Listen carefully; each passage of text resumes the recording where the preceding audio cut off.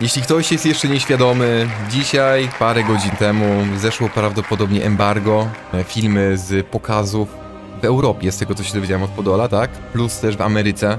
Więc jeśli ktoś sobie nie chce spoilować dosłownie nic, to zapraszam, tam są drzwi gdzieś, nie wiem, gdzie macie drzwi kurwa w pokoju, czy w tę stronę, czy w tamtą stronę. Tam gdzieś macie pewnie krzyżyk do wyłączenia filmu, yy, jeśli jesteście na PC, ale jeśli ktoś chce posłuchać troszeczkę, ja sam nie chcę sobie spoilować, e, za mocno. Ludzie mi na streamie mówią, że podobno TV gry nie pokazało za dużo, nie powiedziało za dużo, więc zobaczymy sobie TV gry, film e, o tym, co się będzie działo w DLC, ale jest dużo pokazane. Boję się tego. 8 minut no spoilers, ja też to nie wierzę. Znaczy, jako drugi film mamy, mam, mam sobie ustawiony, który ja już chcę zobaczyć na pewno. Mamy film Iron Pineapple, nie? I on tu pokazał bardziej mechaniki, nowe bronie i tak dalej, nowe typy broni. I to mi się bardziej podoba. Watiego się boję oglądać. Wati jest znany z loru, nie? Więc on tam będzie wszystko analizować po drodze prawdopodobnie. Więc zobaczmy, co mają do powiedzenia TV gry. Elden Ring Shadow of the Earth Tree to coś jak powrót do domu po długiej podróży. I tak się czułem, kiedy na zamkniętym pokazie w Paryżu zasiadłem do ogrania tego tytułu. Szef kuchni Miyazaki serwuje nam więcej tego samego z paroma nowymi przyprawami.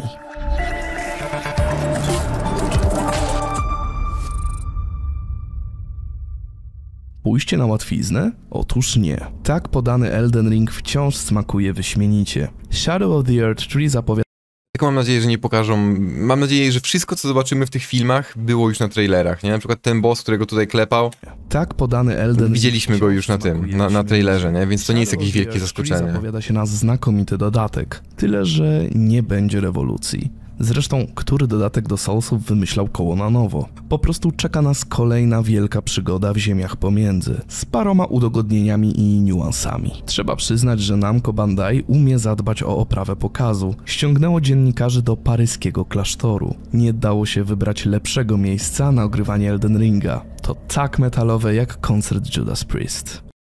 Do klasztoru.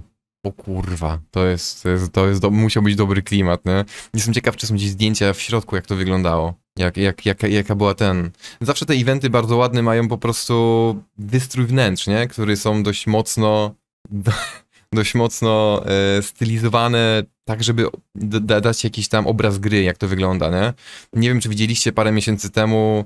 To sama premiera gry była mega flopem, e, ale jak Payday 3 miało event, i zrobili to chyba w jakimś budynku, który był starym bankiem. I były jakieś eventy randomowe, niby, że przychodzą kolesie, którzy nagle mówią do wszystkich na ziemię, na ziemię, kurwa, z pistoletami, z tymi maskami, z Paydaya i tak dalej. Mega klimacik. Jestem ciekaw, czy podobnie tutaj e, Bandai Namco zrobili, czy nie. W Anor, Anor Londo jest chyba ten, we Włoszech, nie? Z tego co pamiętam. Nie, nie ten, nie, nie w Paryżu. W Shadow of the Earth Tree nie znajdziecie zbyt dużo nowości mechanicznych. Te, które wprowadzono, są jednak całkiem konkretne. Miyazaki dosypał nam do mieszanki dwa typy znajdziek. Polujemy na nie podobnie jak na złote nasiona. Jedne odpowiadają za przyrost siły i odporności naszego zmatowienia. Dobra, dobra, on sobie gada i gada, ale ja patrzę na ten miecz. Popatrzcie, jak on się rusza. Patrzcie na ten moveset. Miyazaki dosypał nam do mieszanki dwa typy znajdziek. Polujemy na nie podobnie jak na złote nasiona. Jedne odpowiadają za przyrost siły i odporności naszego zmatowienia. Kurwa, ładne. To, to są nowe ruchy. Nie, nie wyłączyłem TTS-a, już wyłączam. Dziękuję, dziękuję za przypomnienie. Ładne są te ruchy tym mieczem. Ja, ja się jaram tym po prostu, jak, jak nasze postacie będą nowymi broniami machać po prostu. W sumie z tych wszystkich rzeczy, na które ja najmocniej czekam, e, to chyba najmocniej czekam na nowe bossy i nowe bronie. To jest chyba najważniejsze dla mnie w tym momencie tak naprawdę. Te miecze za, sie, za siebie wyglądają zajebiście. W ogóle jak tak trzyma z boku, nie? I to jest w ogóle prawdziwy długi miecz, bo mamy kategorię w Elden Ringu miecze długie, jako nazwa kategorii broni, ale te miecze to są zwykłe, kurwa, krótkie mieczyki, nie? To nie są longswordy prawdziwe. One są w, po tej krótszej stro, stronie mieczy raczej, nie? To wygląda jak prawdziwy longsword. Tylko taki lekki dość, nie? Ja chcę zobaczyć jeszcze raz.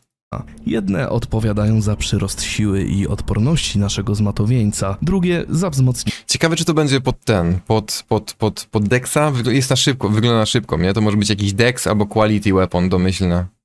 towarzyszy przyzywanych z prochów. Oczywiście dalej zbieramy runy, ale ich znaczenie nieco wypłaszczono w obrębie nowej krainy. Tu liczą się właśnie nowe znajdźki. Trzeba przyznać, że robią roboty na kilku poziomach. Uzależniają rozwój i moc naszej postaci od eksploracji, ładnie wpisują się w lore i wspierają interakcje ze światem. Są Hmm. też ciekawym urozmaiceniem. Kolejna broń nowa. Zmiany sposobu myślenia o postaci i cyferkach, choć odrobinę. To bardzo zeldowe Nie, nie spodoba mi się chyba ten typ nowej broni.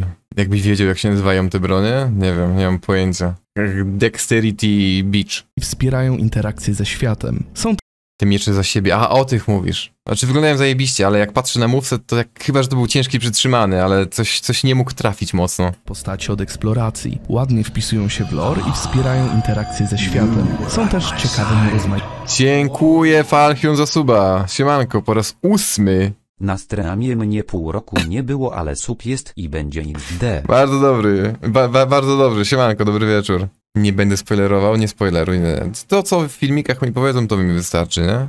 urozmaiceniem. Wymagają zmiany sposobu myślenia o postaci i cyferkach, choć odrobinę. To bardzo zeldowe rozwiązanie, całkiem mi się podobało. Cenię sobie gry, które nagradzają za zwiedzanie. Jest to też bezpieczne dla purystów. Nie zaburzy wam balansu w pozostałych obszarach, bo działa tylko w lokacjach z dodatku. Nowe elementy wyglądały na pokazie na szalonych obszarach. Mm, czyli to, wy nie widzicie, o, teraz widzicie. To tutaj, nie? To jest ten znak Mikeli, który widzieliśmy w trailerze. I tu jest jakiś foś pod nim, nie? I to chyba są te rzeczy, które musimy znaleźć, prawdopodobnie. Tak samo jak w każdym kościele mieliśmy przed łezkę do upgrade'u soczku, tak pewnie pod każdym takim znakiem będziemy mieli coś do upgrade'u naszych, naszych e, cyferek, nie? Jeśli nie grałeś nigdy w Souls-like'i, co najlepiej, ja bym powiedział, że od razu Dark Souls Remastered. Dark Souls 1 to jest świetna podstawa do zaczęcia. Jest to też bezpieczne dla purystów. Nie zaburzy wam balansu w pozostałych obszarach, bo działa tylko w lokacjach z dodatku. Nowe elementy wyglądały na pokazie na szalenie dopracowane i przemyślane. Nowi wrogowie już przez sam wygląd i zachowanie rozbudowują tło fabularne i generują kolejne pytania. Czy utkani z cienia wojownicy i kapłani to biedni głupcy, którzy kroczyli za Mikelą jak za zbawcą? Czy to ta kraina ich tak zmieniła? To była właśnie myśl, która mi towarzyszyła. A poza tym te cienie potrafią dać się we znaki, przynajmniej co większe i bardziej agresywne. Podstawowe mięso armatnie służy do ostrzenia miecza, wszystko inne okazuje się radykalnie To będą nowe te, nowe miecze, e, to jest najmitów, tak? Czy to nie są miecze najmitów, tak jak kurwa w DS3? Ja coś czuję, że ta broń po prostu będzie jak miecze najmitów. Podstawowe mięso armatnie służy do ostrzenia miecza. Te najmity. Inne okazuje się radykalnie efektywne w spuszczaniu na łomotu i wygląda obłędnie. Zarówno wrogowie humanoidalni, jak i ci posiadający nieco więcej odnóży wywołują lekkie ukłucie niepokoju. Sugerują, że znowu zabrali... Ty, ja w ogóle nie zobaczyłem, patrzcie, patrzcie na jego te, na jego, jak to się nazywa? Yy, uda, na jego uda, a to są kurwa głowy Fire Giantów? To trochę jak morda Fire Gianta wygląda, plus minus, nie? Lekkie ukłucie niepokoju. Sugerują, że znowu zabrnęliśmy do złego sąsiedztwa. Poziom trudności też skoczył do góry. Może nie przerażająco, ale wyraźnie. Wrogowie są do ogrania, trzeba się jednak przyłożyć. Co mocniejsi, regularni wrogowie potrafią dać popalić i rzadko odpuszczają. Bossowie są szybcy, agresywni, mają mocne ataki obszarowe i bezpośrednie. Podczas pokazu mogliśmy obić dwóch z nich. No, przynajmniej ja do tylu dotarłem. Gdyby Miyazaki stał gdzieś za kurtyną i słyszał nasze okrzyki zachwytu, pomyślałby pewnie lubę dźwięki. Jeśli nie chowacie w szafie OP bohatera, to szykujcie się na konkretną przeprawę i bardzo intensywne pojedynki. Bardzo dobrze, kurwa. Ja chcę dostać w pierdol, chcę, żeby ta gra mnie zgnoiła po prostu, nie? Bo jeśli, jeśli, jeśli DLC mi nie zgnoi jak śmiecia, to wiem, że następna gra From Softu wyjdzie pewnie kiedy, kurwa, za 4 lata? 5? Prawdopodobnie? Musimy się poczuć zgnojeni przez to DLC, żeby wiedzieć, gdzie jest nasze miejsce przez nas- następne 5 lat, nie? Że jak kolejna gra wyjdzie, żeby wtedy dopiero się pozbierać z tego wszystkiego i zostać zgnojonym po raz kolejny. Końców nie będzie, żaden nie dożyje, ale na pewno nasycicie tymi starciami sadomasochistyczne zapędy. Walki są trudne, ale tą trudnością znaną z wszystkich poprzednich dodatków do gier From Software, czyli parę razy walniecie padem o ścianę, ale będziecie chcieli przejść naprzód. Z perspektywy trwającego 3 godziny po padem o ścianę, ale będziecie chcieli przejść naprzód. Czyli Parę razy walniecie padem o ścianę, ale będziecie chcieli przeć naprzód. Patrzę na te noże, którymi rzuca, nie? Bo to ma być też kolejny typ broni. On w ogóle co chwilę ma nową broń tak naprawdę, nie? Tylko nie będę o każdej mówić, o, nowa broń. E, ale jestem ciekaw, z czym te no noże będą się skalowały. Czy to będzie normalna broń typu, typu w sensie normalnymi upgrade'ami robiona, że możesz sobie zmienić skalowanie na nie na przykład bardziej pod magię, tak jak on teraz magiem gra? Bo jeśli tak, to spoko. Bo nie chciałbym, żeby się okazało, że znowu są magiczne nożyki tak jak były w DS3 w DLC drugim, nie? Te nożyki, które się dostawało do rzucania, które ci manę jakby zabierały. Normalna broń. Już widzę, jak to nakłada krwawienie i ludzie się wkurwiają na PvP i płaczą. Pod blida, no teoretycznie jest. Enchant blidowy, nie? Ciekaw jestem, jak to będzie działać. Na razie, póki nie powiedzieli, to nie, nie drążę tematu, nie? Parę razy walniecie padem o ścianę, puszczaniu A, mocy. kurwa, zły przycisk. Błędnie. Zarówno wrogowie humanoidalni byliśmy? Tutaj. chcieli przeć naprzód. Z perspektywy trwającego 3 godziny pokazu, pewien problem stanowiły predefiniowane buildy postaci. To, co Namco udostępniło nam do zabawy, czyli wojownik, szermierz i mag, było zbyt jednotorowe. Mogliśmy wprawdzie respekować, ale w arsenale mieliśmy głównie nową broń do klikania. Ale to dobrze, że to było ograniczone. Bardzo kurwa dobrze, nie? Ja bym był zły, jakby im pokazali wszystko, kurwa, co, co się da w całym DLC w pierwszym zonie, nie? Bardzo dobrze, że to było ograniczone. To ma być tylko taki przedsmak, żeby jeszcze bardziej podbudzić tą maszynę PR-ową, ten, ten cały e, marketing przed DLC. Ja to mówiłem już, jak zaczęły, jak, jak się pokazał story trailer, mówiłem, że ta machina PR-owa, ten, ten cały marketing ruszył na pełnej kurwie, nie? Więc, e, no to widać. To co chwilę mamy jakieś nowe rzeczy. E, e, więc jak mamy teraz ile? 17 dni, niecałe, e, no to będzie tego coraz więcej, coraz więcej, coraz więcej. Ten materiał TV gry jest jeszcze takim luźnym, bym powiedział, jeśli chodzi o spoilery, ale zakładam, że jeśli ktoś nie chce sobie za mocno zespoilować, bo pewnie w ogóle liki jakiekolwiek trafią, tak strzelam, za jakiś czas, takie prawdziwe, których nikt nie chciał, żeby one rzeczywiście wyszły do ludzi, pewnie się pojawią na parę dni przed premierą, nie? Więc jeśli ktoś chce nie mieć likowanego za dużo, to czas się zacząć powoli odcinać od internetu na najbliższe dwa tygodnie, tak mi się wydaje, nie? Rzut toporem, nowy Kratos Build, no jest ta nowa kategoria broni rzucanych, nie? Które nie są consumablami, tylko bronią. To Trzeba przyznać, jest niezła i wprowadza ciekawe manewry. Grałem rycerzem nastawionym Dziwna na animacja. i wymachiwaniem lekkim O kurwa. Swordem, A. się momentami jak szpadą. Ataki specjalne i kombosy wyglądały broń pod mąka. z poetyckiego starcia z anime o szermierzach. I dobrze. Nowe Great Swordy jak to śmiesznie wygląda, poczekaj, jak ten całą animację jeszcze raz zobaczyć. Jak on napieprza tym, ale skacze jak pojebany. Coś czuję, że ładnie to wygląda, ale chyba nie polubię tej broni. Ja nie lubię jak moja postać się po całym ekranie rzuca. manewry. Grałem rycerzem nastawionym na zręczność i wymachiwaniem lekkim, szybkim Great Swordem, którym operowało się momentami jak szpadą. Ataki specjalne i kombosy wyglądały jak wyciągnięte z poetyckiego starcia z anime o szermierzach. I dobrze. Nowe Great Swordy i Ultra Great Swordy, którymi się bawiłem, dawały mnóstwo frajdy. Nie były jednak aż tak efektywne jak mój standardowy zestaw narzędzi. Nie do końca pasowały do mojego stylu gry, ale Typowy Dex Enjoyer, nie? Oczywiście, że tak. Ale myślę, że po większym oswojeniu jedno z nich wciągnąłbym w poczet ulubionego arsenału. Po prostu walka nimi wymaga więcej uwagi. By przyspieszyć progres, pobiegłem po Bloodhound Fang, jedno z moich podstawowych narzędzi pracy. Choć oczywiście nie jest ulubione, to nie Blasphemous Blade. Nubski Hubert kontratakuje. Do repertuaru krzywdy dołącza nowa forma uzbrojenia. Wściekłe pięści Miyazakiego. Rozmaite rękawice do walki wręcz pozwolą wam spełnić fantazję o graniu mnichem, albo Jean-Claude'em Van Damme, albo też Bruce'em Lee, albo Batmanem z serii Arkham. Nie mogłem oprzeć się temu ostatniemu skojarzeniu. Gdy wyobraziłem sobie bohatera, który będzie biegał w pancerzu nocnej kawalerii, to już w ogóle Arkham City się kłaniało. Ostatecznie najważniejsze jest w pancerzu Mm. kawalerii, to już w ogóle Arkham City To jest ten nowy ten. nowy lot, tak? W pancerzu nocnej kawalerii to już w ogóle Tygla. Arkham City się kłaniało. Ładnie to wygląda, kurwa, W no. pancerzu nocnej kawalerii to już w ogóle Arkham City się kłaniało. Ostatecznie najważniejsze jest, że walka wręcz wygląda na mięsistą, widowiskową i wciska niezłe obrażenia. O to w Eldenie chodzi. O balans między frajdą, omłotem, a efektywnością gracza. Przyznam, odpuściłem zabawy nową magią, bo to nie moja bajka, a chciałem wycisnąć z gry ile się dało. Dziennikarze skupiający się na takim buildzie wyglądali jednak na zadowolonych i używali mniej przecinków. Wiecie z czym mi się kojarzy ten zone tutaj, co właśnie przez niego przebiegł? Z Ori and the Blind Forest.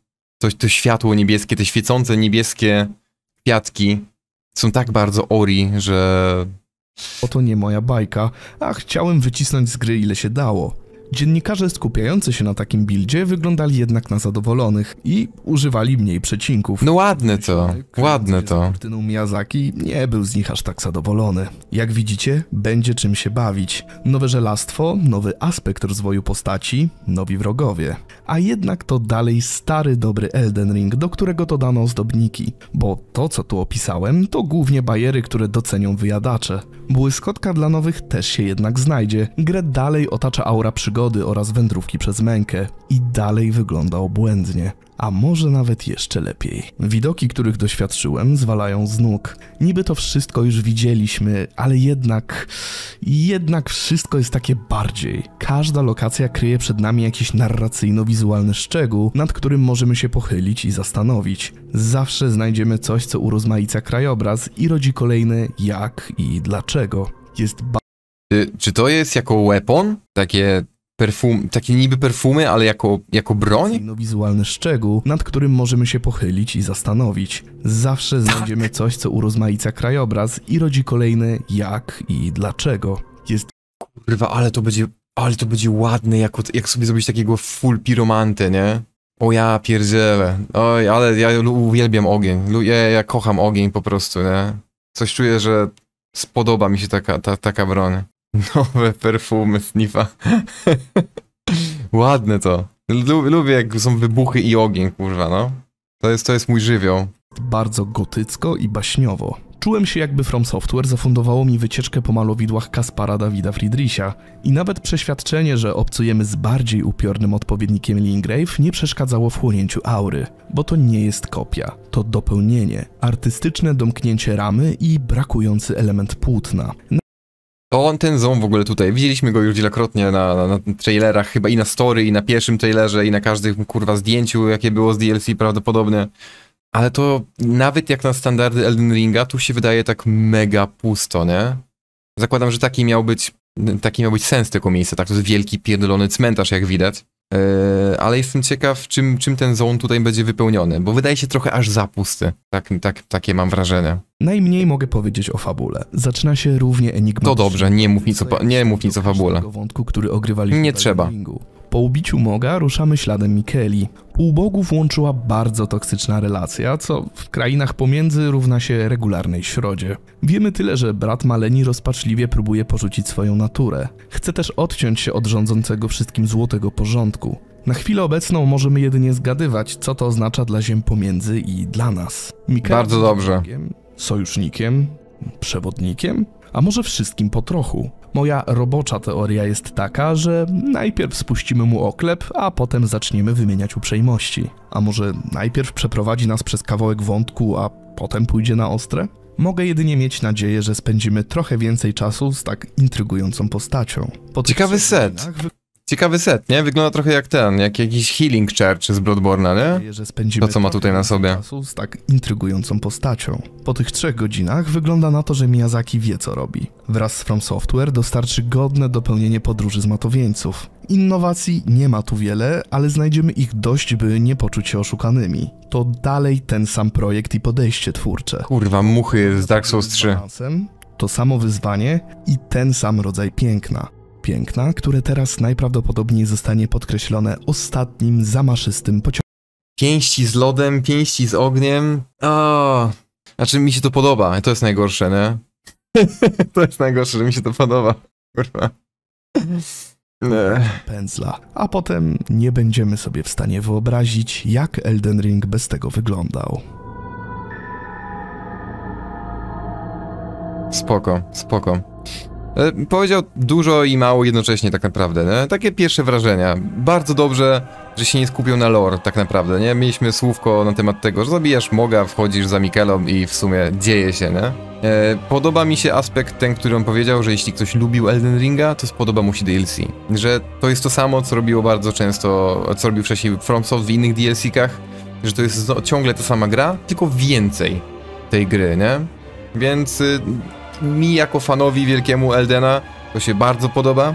E, chociaż zakładam, że no widzieli tylko pierwszy, pierwszy zone, nie? więc ciężko powiedzieć jak to będzie wyglądać dalej. E, bo jeśli to będzie powiedzmy porównując to do podstawki Elden Ringa, tak jak na początku mamy pierwsze parę zonów, które są bardzo otwarte, mamy, mamy Pogrobno, mamy Weeping Peninsula, mamy Liurnie, Liurnie i Altus, o tyle po tym Altusie, już jak jesteśmy na tym poziomie, że wchodzimy do, do e, stolicy, zaczyna się robić bardziej ta, ta ścieżka naszego progresu zwięzła, nie? To jest taki, jest taki lejek po prostu.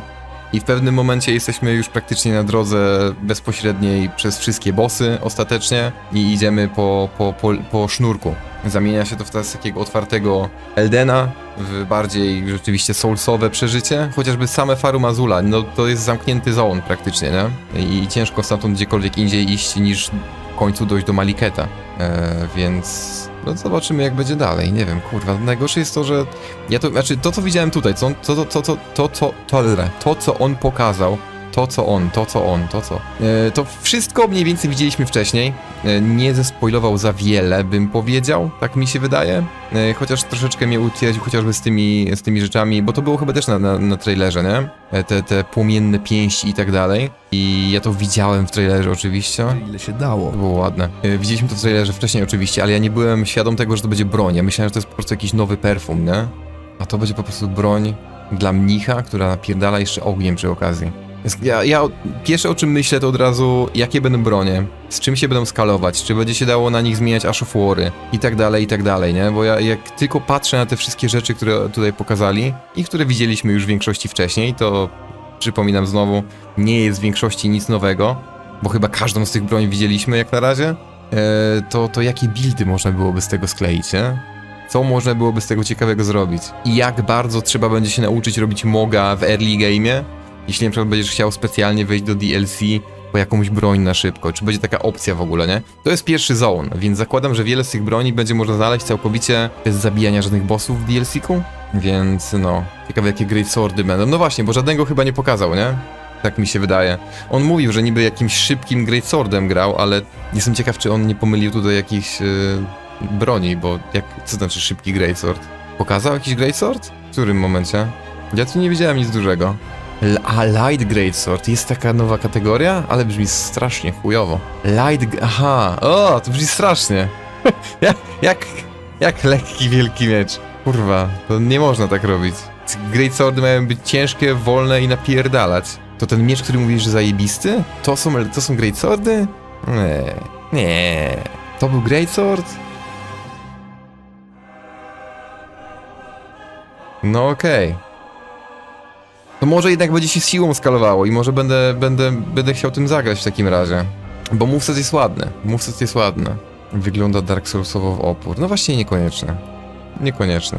Wygląda Eldynowo w opór, nie? E, bo jestem ciekaw po prostu, czy dalej będzie więcej tych e, dungeonów, tych, tych, nie, to się nazywa jak? Znowu zapomniałem nazwę, jaką oni to nazwali, Legacy dungeonów.